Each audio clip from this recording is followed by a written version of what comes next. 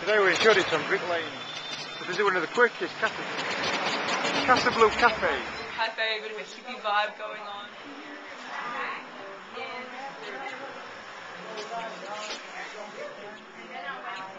Roasters, a selection of dips, a bit of naan bread.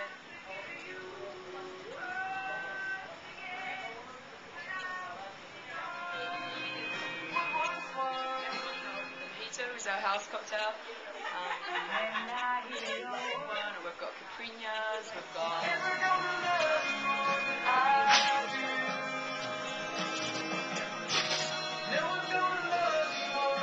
Special is probably the bunny with the gum, which has got a little bit of acid in it, so yeah. Which are 28 pounds.